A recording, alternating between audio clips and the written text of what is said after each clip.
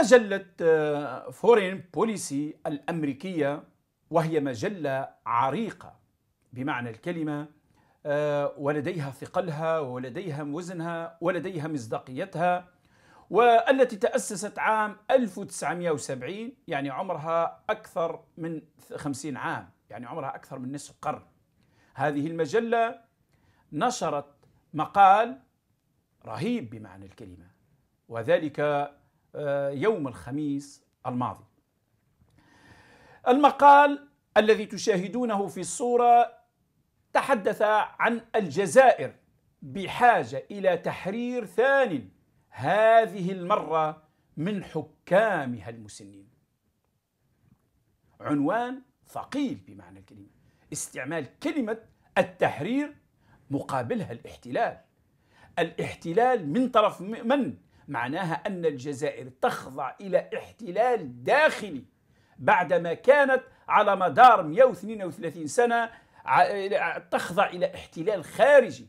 ترى هل هذا الاحتلال بالوكالة الاحتلال الداخلي بالوكالة عن احتلال خارجي؟ هذا الذي بينته مسيرة النظام الجزائري وبنيته الكثير من المحطات في هذا المقال المهم للغاية. والذي كتبه آه، الصحفي فرانسيسكو سيرانو وهو صحفي وكاتب آه، متخصص في الشرق الأوسط وشمال أفريقيا.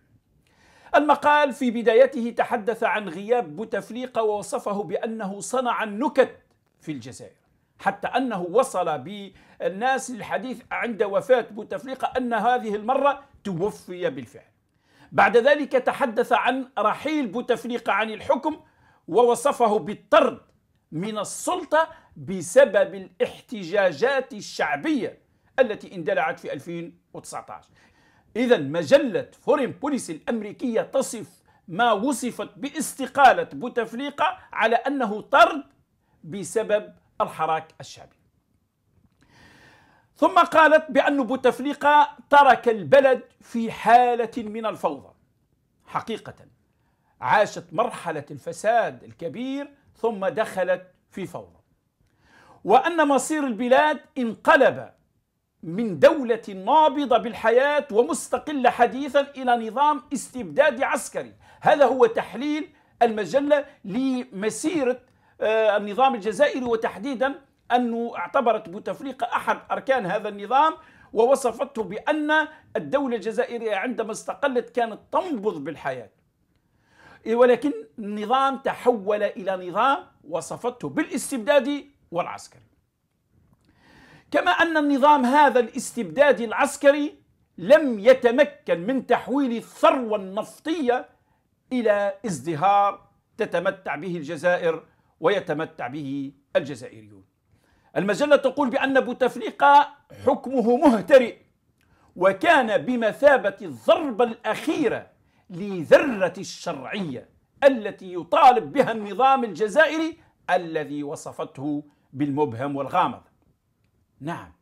وبعد ذلك راحت تتحدث عن هذه المرحلة التي جاءت ما بعد بوتفليقة وقالت بأن الذين حكموا ما بعد طرد عبد العزيز بوتفليقة لم يتمكنوا من إعادة الاستقرار وترسيخه. ثم راحت المجلة تروي حكاية بوتفليقة مع السلطة منذ الاستقلال والمحطات التي حدثت مع بومدين بعد ذلك الشاذلي بعد ذلك أيضا اتهامات بوتفليقة بنهب الأموال أموال وزارة الخارجية وبعد ذلك ذهبوا إلى الخليج وعمل كمستشار في الإمارات وغيرها ثم وصلت وصلت إلى اغتيال بوضياف وثم إلى وصلت المجلة إلى عام 1999 وقبل ذلك مرت بمرحلة آه، بداية التعددية عام 1988 والذي وصفته بأنه تصدع للنظام وأن الجنرالات الذين يحكمون الجزائر سامحوا بالتعددية اضطرارا.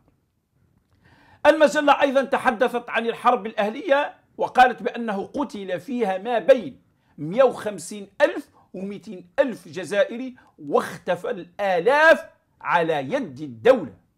معناها أن الذين المختفين آه، والذين يعدون بالآلاف هناك أرقام تقول بأنهم أكثر من عشرين ألف هناك من يتحدث على سبعة وعشرين ألف هناك يتحدث على أربعين ألف.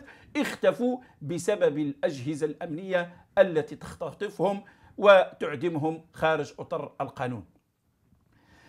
آه، المجلة آه، راحت تتحدث عن طبيعة السلطة في الجزائر وقالت بأنها هي مجموعة غامضة. من جنرالات الجيش وقادة الأجهزة السرية والسياسيين المسنين. نعم هذا هم الثلاثة اللي يمثلوا السلطة في الجزائر. آه ثم تحدثت عن بوتفليقة وقالت بأنه عمل على طي ضحايا الحرب الأهلية ليس بإعادة الحقوق لأهلها وليس بكشف الحقيقة بل بالنسيان. وطيها وضربت مثلا ببوتفليقة عندما رد على تلك المرأة وقال لها لما سألت على ابنها المفقود المختفي قالها ولدك؟ ماهوش فيه. وين أنا تشوف عندي باش نخليهم جيبي ولا